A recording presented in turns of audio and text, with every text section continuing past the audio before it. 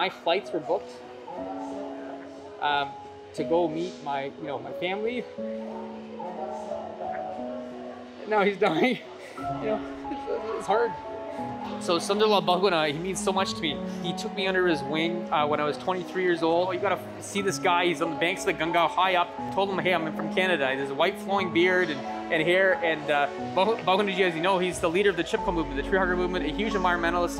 And he's the one who said to me, he goes, look, you know, one person can make a difference and uh, I'm still in touch with them. You know, uh, we're really close. I'm close to that family. My parents, are, my grandparents passed away, so he's like my really, my my mentor, and he's the one who said to me, he goes, look, you know, one person can make a difference.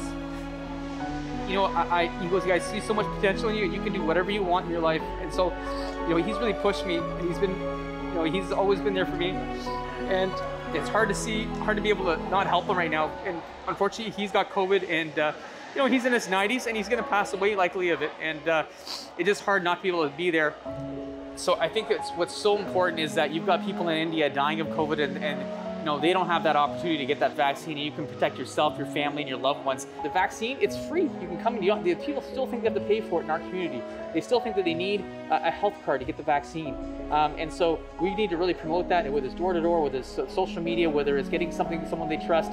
I'm seeing the vaccine hesitancy in our population is real. International students in, in, in, in Peel, it is real, guys. Our portal, our booking platform is in Punjabi, in Hindi, in Urdu, in English and French so that our community can book online in their own language and then they see people that look like them and that understand you know, where they're coming from. And so I think that's super important to get into those communities so that we can we can get to that that level of vaccination that we need to get back to normal.